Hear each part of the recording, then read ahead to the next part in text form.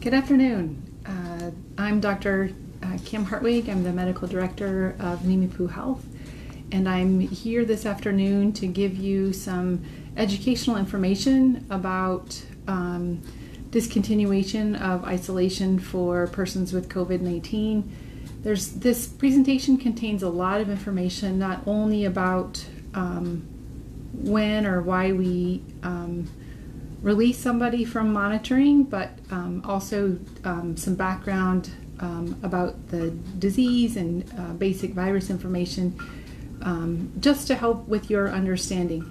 I think that as we um, begin to return to work, the and actually with any situation, the uh, better understanding that we have, the uh, more comfortable and confident we can be um, in uh, in our situation. Um, so the first thing that I would like to um, share is that at this time, the um, data that we are using to make recommendations that we're receiving um, on a regular basis from the CDC uh, is very limited, and um, specifically with how long a person can shed the SARS-CoV-2 virus um, after an infection. But what I would like to um, help uh, you to understand today is that there are some key findings that we have um, been using for recommendations, and I would like to um, share those with you today. Um, first, I would like to talk with you about the um, testing that we've conducted at Nimiipuu Health. Um, we have what's called an Abbott ID Now test, and that allows us to uh, receive test results um, in as little as three minutes, but as long as 15 minutes, which has allowed us to um, uh, get results very quickly and make um, recommendations for community safety um, at that at that same time. Um, surrounding facilities um, don't have that capacity, but um, it's been uh, tremendously helpful going forward. So to date, we have conducted 188 COVID 19 tests We've uh, received um, 18 positive results. The last positive result was received on um, on May 19th, um, and it was a, a, single case. And we have had 117, 170, excuse me, 170 negative tests, uh, which gives us a negative test result percentage of 90.43 percent and a positive test rate of 9.57 percent. Now those are larger than you would see in um, the other numbers that are being cited, um, but um, our N, which is our 188, is pretty small, um, but we do have the capacity to test, and we're um, uh, feeling confident um, moving forward, given that we've had such significant number of negative numbers for consecutive days. So let me begin with the symptom uh, based strategy um, to discontinue isolation for persons with um, COVID. Um, the first, there are, um, first key finding is that um, viral burden measured in upper respiratory specimen declines after the onset of illness. Now, this data is from the CDC and it's unpublished. Um, and somebody might ask, why are you using unpublished data? Is that accurate, and um, because it's the only data that we have.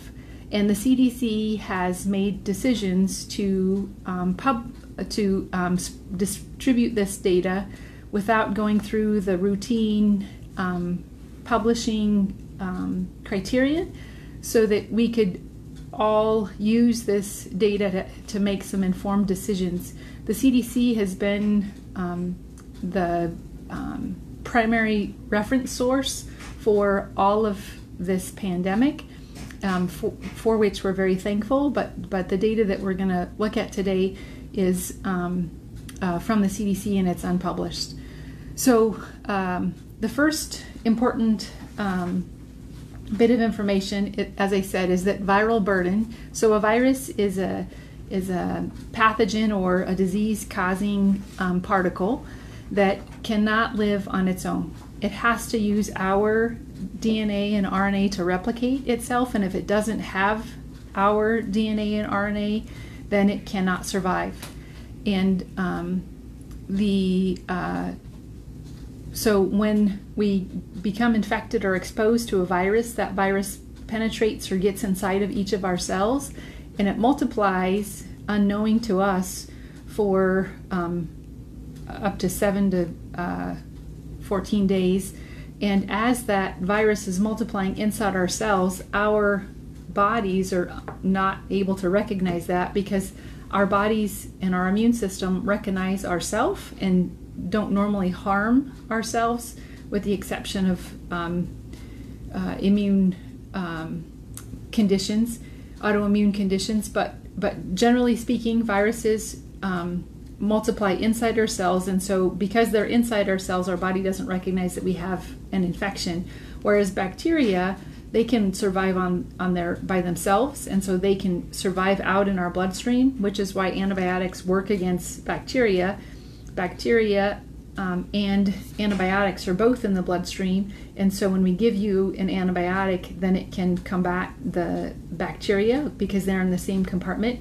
But viruses have to be inside our cells to multiply, and um, so it, it uh, takes our body some time to combat uh, a virus because it's multiplying uninhibited. It doesn't have any um, uh, opposition uh, to multiplying, um, and those viral particles are multiplying and, and copying um, within our cells. And when that number of copies of virus exceeds or surpasses or goes beyond the strength of our cell wall, then those cells rupture, and we have these millions of viral particles that have been multiplying without our knowledge um, exposed into our bodies, and that's when we manifest symptoms. That's when we show symptoms um, in runny nose, in a cough, in fever, um, all of the, the symptoms that we are monitoring for um, for a um, an infection are then shown, and that's our body's response. Uh, is it's really telling us that it's starting to fight an infection. So, um, viral burden measured in upper respiratory specimen declines after the onset of illness. So, I'll have you turn to this um, graph here. Um, that, um, as you can see on the y-axis, it's a logarithmic um, uh, graph of RNA, which is um, uh, genetic material, RNA copies in a swab, and across the bottom you can see days post symptom onset. Now, the yellow dots are throat swabs, and the brown dots are nasopharyngeal swabs. And somebody might ask, well, we aren't using throat swabs for specimen. Um, why is that on here? The, the swabs for some testing and um, thus included that in the data. But as you can see, the, um, the ability to detect RNA or genetic material on a swab was not present about until day two or three, but you can see just these three individual dots are present and the large majority of symptoms where we can actually detect the RNA in the virus don't become present until day four and five. And you can see that the concentration of presence of RNA increases as we get farther and farther away from the onset of, of symptoms uh, being started. And then you can also see that the of the symptoms is declining over time. Okay, and so that that really is the is the um, first point is that viral burden. So the the quantity of virus measured in upper respiratory specimen, the throat swabs and the nasopharyngeal swabs, declines after the onset of illness. So when our body is mounting an immune response, then the virus declines over time. At, at this time, uh, at this time, replication competent virus has not been successfully cultured more than nine days after the onset of illness. So, replication competent virus is a key phrase in this um, bit of information. Um, replication competent means that the virus has the ability to multiply, and any anything that can reproduce has the ability to live. If you don't reproduce, then eventually uh, the virus will die. And so, um, replication competent virus, so virus that can multiply and has the ability to multiply, has not been successfully cultured more than nine days after the onset of illness. The statistically estimated likelihood of recovering replication competent virus approaches zero by day 10. And that's important um, because the, um, the symptom based um, strategy to discontinue um, transmission based precautions or um, somebody who might be able to transmit or um, pass on an infection include three criteria. One, three days has passed since recovery, and recovery is defined as without a fever or uh, improvement of respiratory symptoms. I'm sorry, and not or. Um, without a fever and improvement of respiratory symptoms, and has been at least 10 days since the symptoms first appeared. Okay, so replication competent virus has not been successfully cultured more than nine days after the onset of illness. Now, a culture is a gold standard in the infectious disease realm. When when um, somebody gets a bladder infection, for example, there are common pathogens or bugs that cause that bladder infection, and based on the common pathogens, we providers select which antibiotic would will be effective effective against that particular pathogen or bug. If we are not certain about what pathogen or bug may be contributing to that infection, we will obtain a culture because a culture will allow us to one know specifically what bug is causing the infection and we can also do what's called sensitivities where we um, expose that um, bacteria to um, different types of antibiotics and identify if it's able to kill that pathogen or not. So um, keep uh, just know that a culture is um, is a gold standard in the infectious disease realm to help us to know if, if, if a substance is present or not, or if it's able to be um, really harmful or not. So let's look at this next um, slide. So um, this uh, shows uh, 0, 50, and 100% seroconverted patients. Now, sero is serum, and converted is, is patients that have um, known um, infection, basically. And you can see that that infection, or that seroconversion rather, doesn't become apparent in, in this particular study until day five. So even though we know that they're positive, right, because these are all positive patients, we know that they're positive, they didn't seroconvert to, for us to detect it until day five. So somebody comes in and says, I, I was um, around a, a COVID positive patient yesterday, I need to get tested. Well, it's not going to be helpful for us to test oftentimes in those that first couple days because we need to allow your body time to develop uh, an immune response for us to be able to um, uh, observe or um, receive a positive test. Okay, so with time, almost all of these patients have seroconverted, but it's taken up to two weeks for that to happen. But we know that they're positive. Excuse me. Um, on the x-axis, you can see that this is days after symptom onset. So symptoms started here is day one, day two, three, four, etc. And this um, particular um, study looked at throat swabs, nasopharyngeal swabs, and stool swabs. Now, as I said, a culture is a gold standard. So here um, they were able to obtain a positive culture, and this is the negative culture um, realm.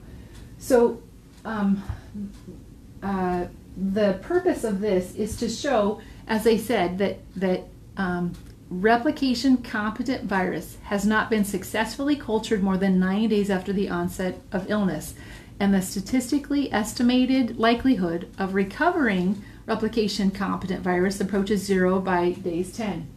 So um, here, one day after onset, we couldn't get a culture. Two days after onset of symptoms, we couldn't get a culture.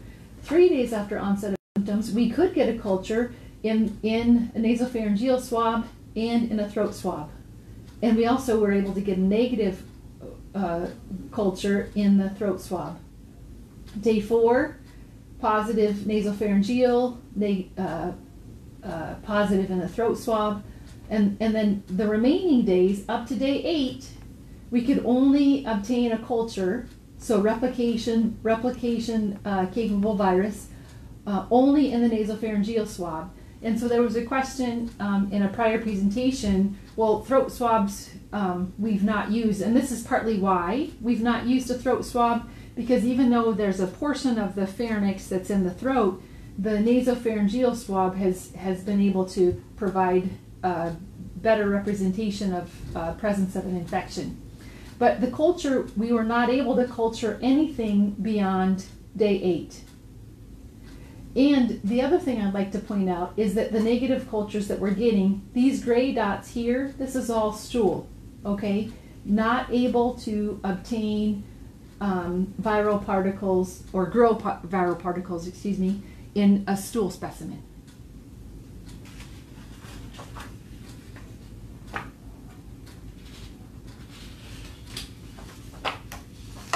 And this is a, a similar uh, depiction, successfully cultured. Uh, one, which is this column here, is no, it was not cultured. Two is yes, was cultured. And these are days post onset of symptoms. And you can see here that this last culture date was at day nine, which is why we said that we um, cannot a replication competent virus has not been successfully cultured more than nine days after the onset of illness. So we cannot get the virus to grow any more in, in a culture after nine days.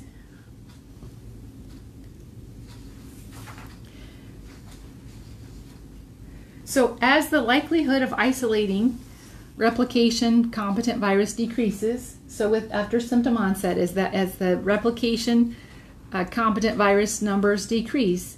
Anti SARS CoV 2, um, so anti, so SARS CoV 2 is the virus. Anti SARS CoV 2 are the antibodies that we make to combat the virus, to fight the virus. And we make two types of antibodies um, initially IgM, which is a, an acute um, phase antibody, which those are antibodies that we make right after we've been exposed to the infection and IgG are the memory antibodies.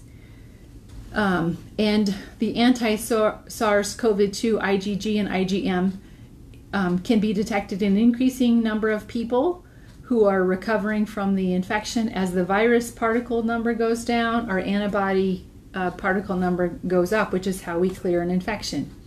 Now, our immune systems are meant, are made rather, to respond in a in a quicker manner um, in subsequent exposures. So when we first see the SARS CoV virus, for example, our immune systems may not respond. Uh, they're going to respond, um, God willing, by helping us clear it. But the second time that we see that virus, our immune systems are going to respond more quickly and in a more heightened fashion. And that's true for subsequent exposures. That's part of the reason, or is the reason rather, why we give kids multiple vaccines is that we are exposing them to a little bit of a pathogen or a bug, and so that their immune systems can see that, recognize it, and then create antibodies to fight that off. The next time we give the vaccine, their body's going to make more antibodies in a quicker fashion and greater number because that's how our immune systems are made to work. And the third vaccine similar, a quicker fashion and a more and a higher magnitude of response. So, um, as the viral uh, replication competent virus decreases, our antibodies um, are increasing. And um, attempts to culture the virus from upper respiratory specimen have been largely unsuccessful when the viral burden is low but in detectable ranges. So let's look at the next the next graph here. So this is telling us that even though the viral burden is detected, it's it's at a lower threshold than can be cultured. And again, culture a, a, a, pathogen that is culturable is a pathogen that can be harmful. So if it can't multiply, then the, the chance that it's going to be harmful to us is very, very, very low. So attempts to culture virus from upper respiratory specimen has been largely unsuccessful when viral burden is low but in detectable ranges. Now, uh, this uh, particular graph shows um, on the y-axis it shows CT uh, patient specimen and a CT value is the number of application cycles to reach a fixed signal threshold. Now this um, particular study set the threshold at 33 CT. So those application cycles um, have been um, uh, set um, because below that value, as you can see, we, we can, uh, um, so recovery means able to culture, non-recovery means not able to culture. And these are three, so again, very, very small sample, but reproducible on these three specimen at that, at that range. And so um, culturable, not culturable. In this specimen, culturable, not culturable, and below that 33 set range, you can see that the culturable specimen is extremely low with just a single dot um, in, in, uh, in those columns. The other thing that I'd like for you to, to notice is that um, these p-values here, a p-value that is statistically significant that gives us confidence and a p-value tells us that there the chance of this being um, of, of, us getting a result by chance is is 95% confidence. So a p-value of less than 0.05 is the standard, and these p-values are 0.092, 0.0001, 0.0003. So so show some significant uh, so some uh, statistical significance, but again, you know, very low numbers. But this is all that all that we have. So um, at at a CT of 33 cutoff, we are able to culture viral um, virus here, but we still have detectable virus here. That's what these black dots are, but not enough to culture. And so even though we have uh, viral burden that's low, we can't the the our ability to culture the specimen is um, is low even though the virus particles are in detectable ranges. So there's a threshold where the virus can multiply and that's um, this is as i said preliminary data but gives us some information that even when we still have a little bit of virus we still can't um, may not be uh, contagious so, following recovery from, from clinical illness, many patients no longer have detectable viral RNA in upper respiratory specimen. Among those who continue to have detectable RNA, concentrations of detectable RNA three days following recovery are generally in a range at which replication competent virus is not, has not been reliably isolated by the CDC. Okay, this is unpublished data by the CDC, but three days after recovery. And recovery, from our um, definition, is based on no fever and uh, resolution or um, uh, disappearance of respiratory symptoms, um, cough, shortness of breath. And it's been at least 10 days since they've passed, uh, since they, their symptoms first appeared. So if we can't um, detect RNA which is the protein within the virus particle, three days following recovery, then we can safely say that a person doesn't have a viable or replication, replicable virus present, which means that they're not infective. They can't, they're not contagious, not harmful. And so that that's the that's the the criteria for symptom-based strategy is at least three days have passed since recovery of symptoms, and recovery is no fever and and improvement of respiratory symptoms, and at least 10 days since the onset of that symptoms first appeared. Um, let me go to the next slide. Okay. And there there is a, no clear correlation has been described between the length of illness and duration of post recovery shedding of detectable viral RNA in upper respiratory specimen. So this tells us that we really uh, don't know, no clear correlation, which means that we have some information, but we don't know with with certainty um, how long an illness occurs and how long they're going to shed the virus. But what we do know is that that um, replication competent virus cannot be um, grown or cultured beyond day nine.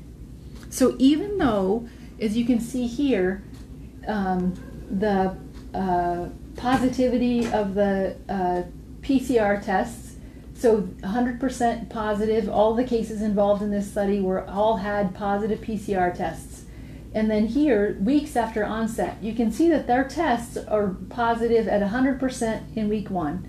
Week two, it goes down to about 90%. At week 65, four, it's about 30%. At week five, it's down around 10%. At week six, it, it gets down to zero percent. So doing a PCR test, which is the test that we have to check for COVID, is not helpful in a situation because it's it's going to be detectable all the way up to week six. So retesting a positive individual is our bodies break down the virus. We're still we still may have some of that um, of that uh, viral RNA present but that doesn't mean that you're infective. It doesn't mean that you're contagious. It doesn't mean that you're harmful. Um, a similar circumstance happens with tuberculosis. We test for tuberculosis and we find it. We don't test you again because it's going to be positive. and that can. So that happens also in TB. Once you become positive, we don't retest you again because you can carry uh, particles of TB that react and make the test positive for weeks, months, and sometimes years. So, this is why we aren't retesting patients who have been positive um, in, uh, in, uh, in these cases. And um, the other thing that I like to relay, and this is the um, uh, last point from the um, CDC uh, um, recommendations are that infectious virus has not been cultured from urine or reliably cultured from feces. These potential um, sources pose minimal, if any, risk of transmitting infection, and any risk can be sufficiently mitigated or inhibited or changed by good hand hygiene. So, that this infection has not been able to be cultured, which is the gold standard in the infection realm, from urine or reliably from stool. And if there was any transmission, if you practice good hand hygiene habits, then you're going to significantly reduce, if not eliminate, that risk.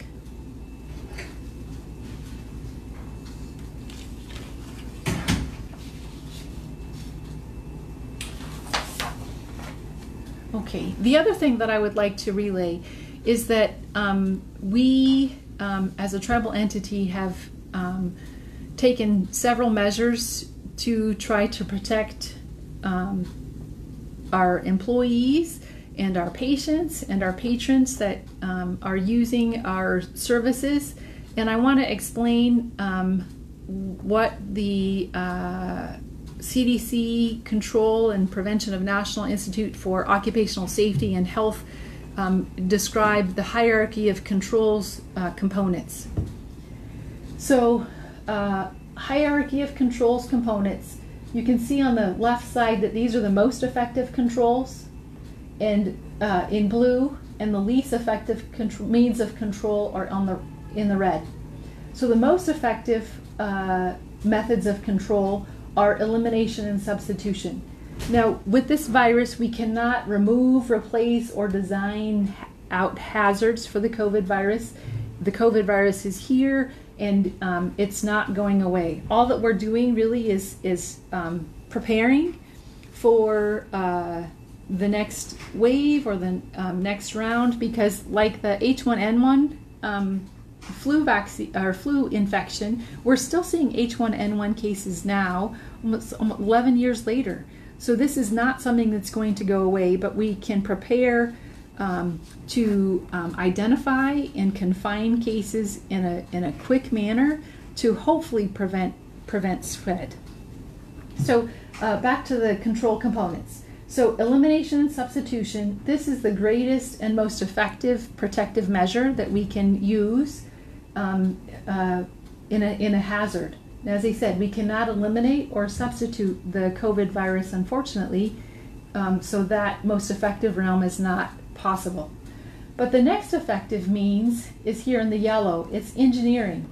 So removes or reduces the hazard or places a barrier be between the worker and the hazard. Excuse me. And the tribe is, has and the and Nimiipuu Health have taken have made measures to significantly reduce uh, risk by placing barriers between the worker and the hazard or um, uh, the social distancing is another means of um, removing or reducing risk. Um, and we can't completely eliminate this, but we can lower our risks. And that's really what the hand hygiene is for covering your cough or sneeze with a tissue and washing your hands, um, staying home when you're sick. Um, all of those are means that we can reduce risk, and that's really what all of the measures that we're taking are about.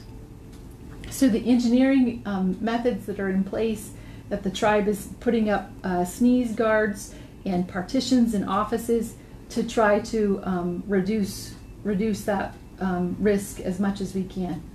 Now the least effective means of protection are administrative and PPE. So this limits or protects against exposure to the hazard when it cannot be completely eliminated. So PPE is something that we all have control of, and it feels like PPE, which is personal protective equipment, we feel like that is making us safe, and it, it does protect us, but it's the least effective mode of protecting us or method of protecting us um, because we can control it.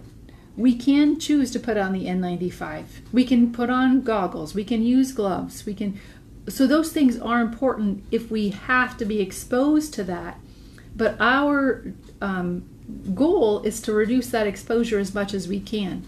And the hand hygiene, the um, coughing and sneezing into a tissue, and then washing your hands, um, all of those measures, staying home when you're sick, those measures really are, are much more effective than using an N95 mask. Now, as a healthcare worker, we have to be exposed because we're here to help, and that's our commitment. So we're going to use the PPE because we can't remove um, remove that exposure. But what we can do, and what we've done at Nimiipuu Health, is we have an an dedicated um, respiratory uh, hallway and have rooms dedicated just to our respiratory patients.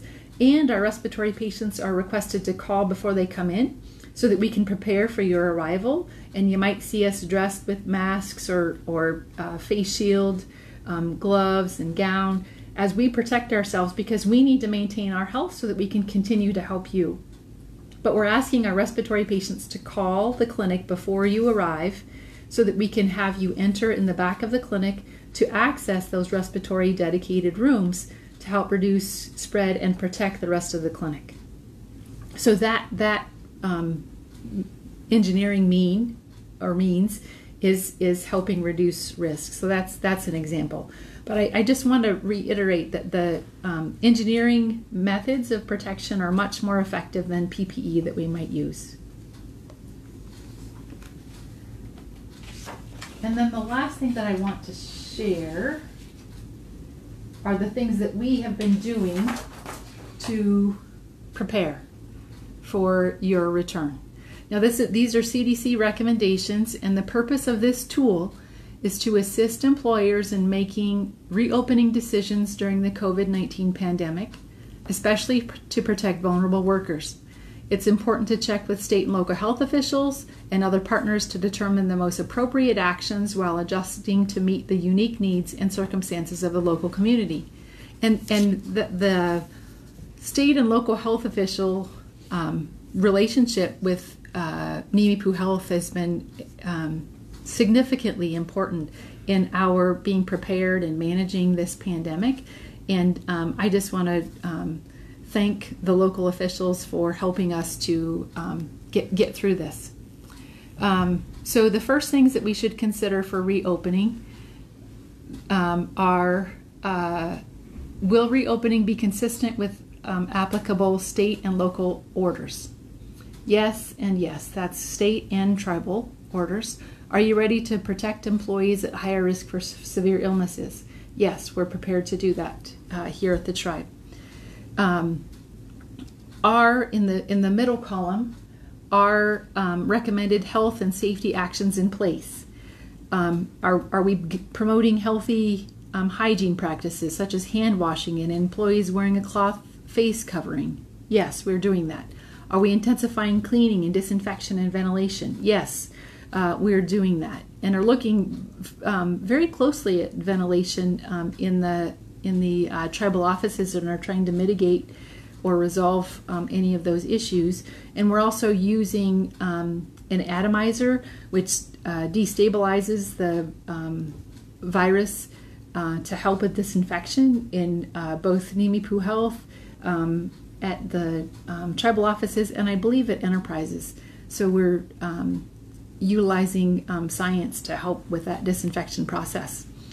Are you encouraging social distancing and enhancing spacing between employees, including through physical barriers, changing layout of workspaces, encouraging telework, closing or limiting access to communal spaces? Those are spaces that people um, use uh, together, such as at a water station or um, drinking fountain or the coffee uh, maker or shared refrigerator? Um, are we limiting access to those? Um, staggering shifts and breaks, and limiting large events when and where feasible. Yes, we are doing that. Are we uh, considering modifying uh, ho- uh, travel and commuting practices? Yes, we are doing that. Have we trained all employees on health and safety protocols? They're, the managers are, are currently um, setting up uh, those safety protocols and educational um, uh, that ed- educational information to help make sure that, that um, our employees feel confident in and understand the health and safety protocols to uh, reduce and mitigate um, this virus. But we've been doing this all along in our in our homes, in um, going grocery shopping. You know, you're you're wearing a mask when you go grocery shopping, or you're washing your hands with sanitizer when you get back into your car. Um, you have, or my auntie gave me Lysol to put in my car I have a pair of gloves to use when I go get gas and and um, turn it inside out. And just so you know, uh, uh, gloves can be re-sanitized with um, hand sanitizer. So I've I've done that to um, not be wasteful in in uh, in that protective um, equipment. So we've done all of that. And then the third column is is ongoing monitoring in place. Have we developed and implemented procedures to check for signs and symptoms of employees daily upon arrival? So, um, a temperature assessment is going to be conducted.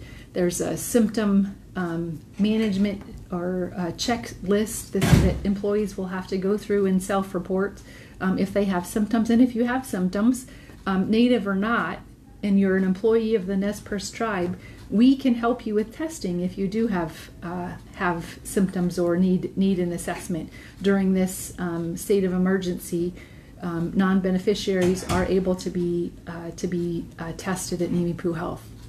Employees of Nez Perce Tribe, native or non-native, can be tested for COVID-19 at Nimiipuu Health uh, during this state of emergency. Encourage anyone who is sick to stay home. Um, uh, a lot of people like to push through and, and not not miss work. Uh, we would ask at this time that if you are ill, that you remain home to avoid uh, potential spread and keep our uh, work environment safe. And have a plan in place if, if an employee does get sick. Um, regularly communicate and monitor developments with local um, authorities and employees. I jokingly said today that that's really become my job. To monitor developments and and uh, communicate with uh, local authorities, which is which is fine. I want to do um, what I can to help uh, keep our community safe. Um, monitor employee absences and have flexible leave policies and practices. We have been very generous with leave as we have uh, developed plans to um, uh, help combat uh, this virus as an organization and be ready to consult with local health authorities if there are cases in the facility or in increased cases in the local area. And we are we do have those channels of communication open.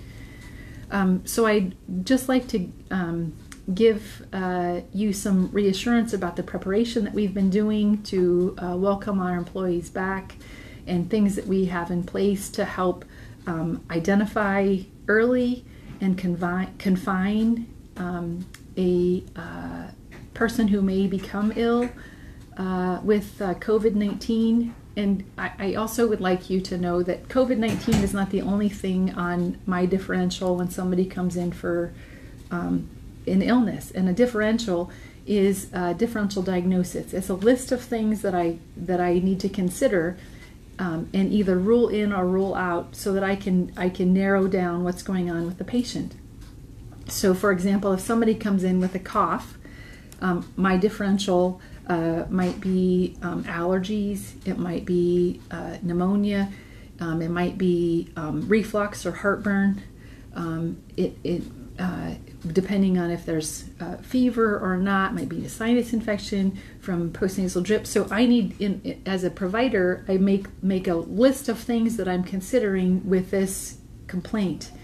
And yes, COVID is on our list, and right now it's at the top of almost every list because of, of the of the concern with this infection. But it's not the only thing on our list. So just because somebody has a cough doesn't mean that they have COVID just because somebody has a fever doesn't mean that they have COVID. But can it be can it mean that they can't they have it yes it can but there are also other another list long list of things that can contribute to those symptoms so we need to not um, rush to assume that just because somebody has a fever or because somebody has a cough or somebody has shortness of breath that, that they have covid. And know with confidence that after that 10 day window that patient is is no longer um, infective or, or harmful.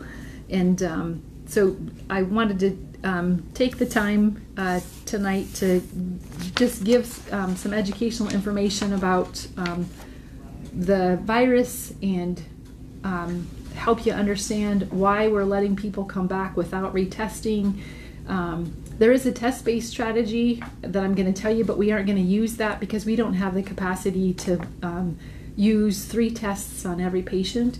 If we had unlimited testing material, that would be a way that we might um, be able to uh, use. However, I in the in the data that I shared, that that RNA test can be positive for up to six weeks after without you having active uh, viral present. So I'm not sure that I would use that even if we did have the testing capacity, just for that um, for that uh, that reason. One other thing that I want to share is that if somebody has a lab convert confirmed COVID-19, so they've had a lab test and they've found to be positive for COVID-19, but they have not had any symptoms, so they they um, have been asymptomatic. Um, those patients have have to have 10 days pass since the date of their first positive uh, diagnostic test, assuming that they haven't subsequently had symptoms. If they have had symptoms, then um, we adjust that timeline based on symptom onset with the symptom based strategy that we just reviewed.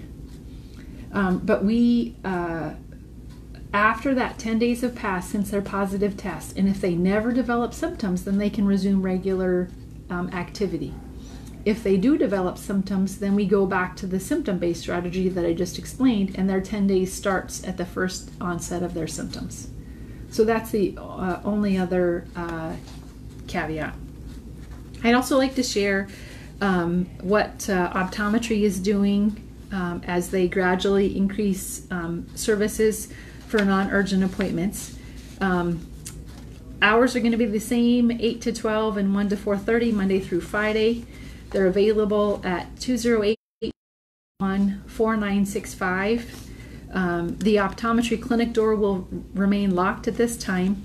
Um, they strongly recommend that you that you, you call uh, before you head to the clinic. They're not currently taking any walk-ins unless there's an urgent or emergent care that is needed. Appointment priority will be given to medically necessary cases. Unfortunately, we'll not be able to meet all uh, your needs at this time, and some appointments may be canceled. We're currently scheduling appointments for um, optical visits, um, eyeglass repair, or ordering for glasses or contacts that are ready for pickup. We'll be shipping them to you or scheduling curbside pickup. We ask you to wear a mask to your appointment, which is the same for all of Nimiipuu Health. When you come, we'd ask that you wear a mask.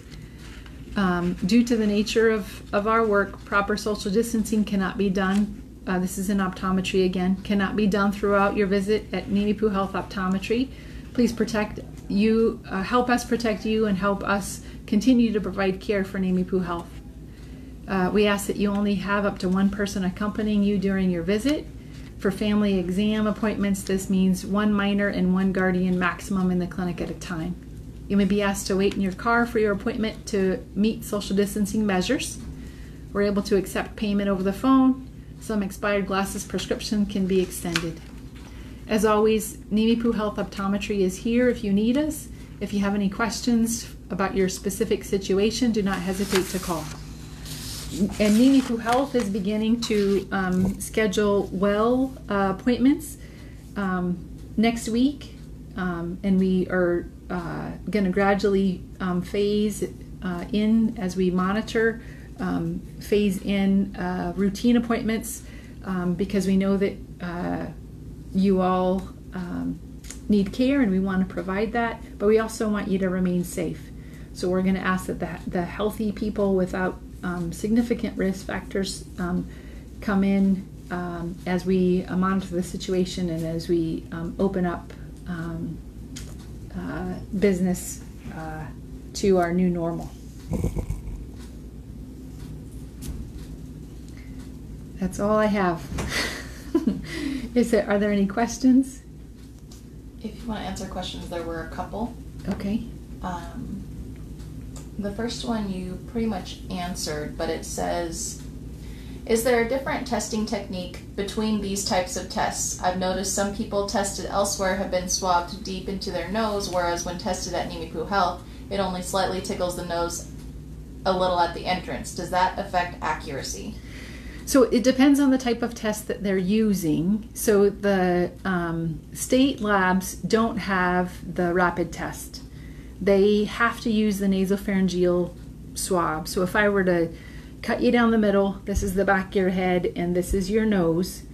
Um, if you go up into your nose, the the um, farthest back portion or tube, if you will, that goes down into your lungs is um, your pharynx. You have a nasopharynx you have an oral pharynx where your lab, or I'm sorry, where your mouth opens up into. The, the test that the state has requires that you go back into the nares or into the nose and get back to the nasopharynx. And so that's that deeper swab. Our um, ID Now analyzer, as well as our rapid strep, or I'm sorry, our rapid flu um, analyzer, which we just got this last flu season, only requires an anterior nose swab. So the the uh, mucus specimen from the just from the nose is sufficient to um, run that test. So it depends on which test you're using, and it's the um, analyzer that we have actually is not for the nasopharyngeal; it's for the nose. So the, there is a difference, and it's the it's the tests that are being ran. If you test positive and recover, are you immune? That's a so if you test positive um, and recover, are you immune? Um, we don't quite know the answer to that because people can get the flu again and again, even though they've already had it. That's a that's a question that we're only going to be able to answer with time.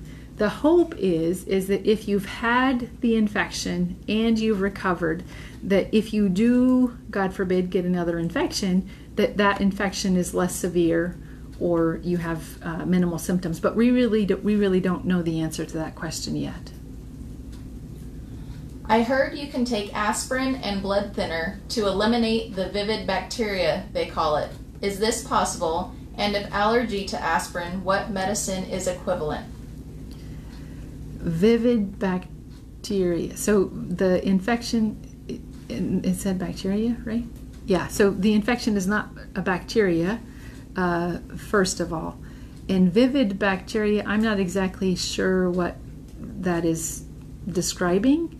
If that um, viral particle number is great, and I haven't um, seen any um, antiplatelet, so um, I guess my assumption, not knowing or looking at the data, is that the um, aspirin has antiplatelet activity, um, and platelets are involved in uh, forming blood clots. And there have been some cases of COVID that have been linked to clots, um, but I don't know that specific um, protective measure. Um, I can certainly look it up and, and reply um, on the Facebook page to see if there's any if I have any more to add. But um, that isn't that isn't something a recommendation that I've that I've seen or would give at this time. All right. Well, I uh, hope you all have a good uh, weekend and thank you for joining us tonight.